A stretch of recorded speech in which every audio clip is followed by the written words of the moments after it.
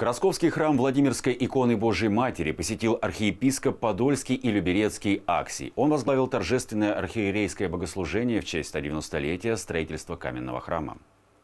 Церковное место Владимирской иконы Пресвятой Богородицы в селе Краскова известно с 17 века. Много столетий церковь была деревянной, и только в 1831 году было принято решение возвести каменный храм с колокольней. Строительство шло два года, и в 1833 храм осветили. Мария Суханова, постоянная прихожанка храма, знает его историю с детства.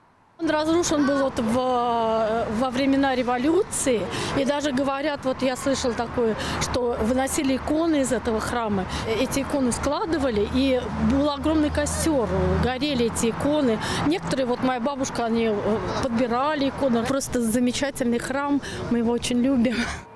В советские годы храм пережил трудные времена. В 1934 году его закрыли и восстановили только в 1990-м. Сейчас это центр духовной жизни в Краскове. На воскресную службу приходят и взрослые, и дети. В этот храм мы ходим уже, э, наверное, 20 лет. Вот. Приход очень хороший, дружный. Поэтому, чтобы побольше людей ходил в храм, приходило к Богу. 5 сентября в храме собралось около 200 прихожан. Они почтили память Владимирской иконы Божьей Матери и отпраздновали 190-летие каменного храма. Разделил радость с прихожанами архиепископ Подольский и Люберецкий Аксий. Его высокопреосвященство приветствовали глава округа Владимир Ружицкий и воспитанники воскресной школы. Сияние свеч, лампад, икон наш храм сегодня озарет и Богородица сама благословляет всех любя.